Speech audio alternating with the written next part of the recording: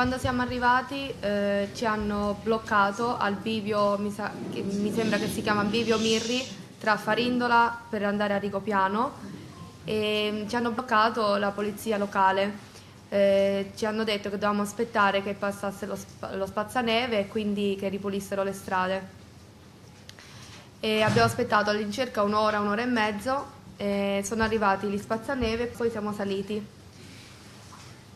E abbiamo trascorso la notte e il giorno dopo comunque si erano tutti quanti agitati già prima per la neve, ma poi quando è successo che sono, sono diciamo, Ci sono state delle scosse, scosse di terremoto. terremoto, ehm, ci siamo tutti molto molto più spaventati che ovviamente si sentiva tantissimo e ce ne volevamo tornare tutti quanti a casa, anche chi magari aveva eh, prenotato per vari giorni. Quindi stavamo tutti quanti nella hall ad aspettare lo spazzaneve che poi dovevamo accodarci a lui e riscendere. Sì, loro ci avevano detto di stare tranquilli, di stare tutti quanti nella sala del tè dove stava il camino e che mh, quando passava lo spazzaneve ce ne potevamo tornare a casa. Solo dopo un po' è arrivata una comunicazione che molto probabilmente non, non si sapeva se passava, l'ora che passava, quindi di, di- insomma, di organizzarci per dormire in quella, in quella stanza, perché ovviamente tornare nelle, nelle camere era pericoloso per il terremoto. Però noi non abbiamo mai pensato che fosse una valanga, noi fino a quando non abbiamo parlato con i soccorritori pensavamo che fosse un terremoto molto forte. Allora, praticamente noi eravamo seduti vicini sopra un divanetto di vimini e stavamo prendendo il tè. E a un certo punto, in tre secondi, ci siamo ritrovati sotto. Non, non abbiamo capito niente, veramente niente. E da lì per sopravvivere è vero che riuscivate a prendere della neve dei Sì, Del avevamo ghiaccio. del ghiaccio intorno e quindi ci nutrivamo di quello. Per fortuna che ce l'avevamo. C'era anche Lorenzo Cagnello, lo sentivate al momento Stefano, Stefano. Cagnello, il fidanzato sì, di... No, no.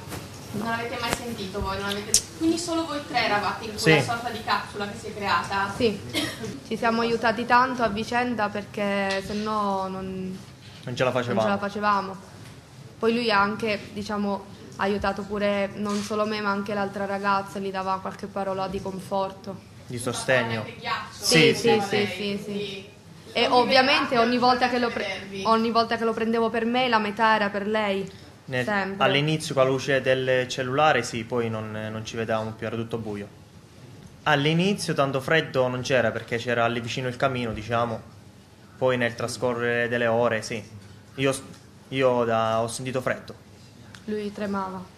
Allora, la, la frase che più mi sono ricordata è stata: Noi siamo qui e non ce ne andremo finché voi siete fuori. Senza di voi. Senza di voi noi non ce ne andiamo. Allora, quello che posso dire io è che la mia forza è stata lui, cioè nel senso che lui ogni volta che io cercavo di mollare, lui mi, ha- mi tirava su. E quindi Cosa ti diceva Vincenzo per tirarti su di portare? mm, di stare tranquilla, poi mi abbracciava, cioè nel senso che già la, la sua presenza per me era importante perché io so lui che carattere ha, lui è molto forte. Volete mandare un messaggio ai vostri concittadini?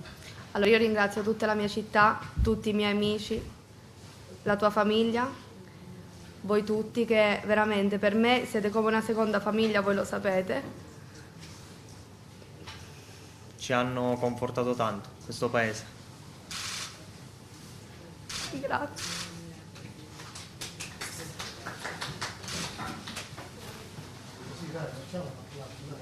Ecco,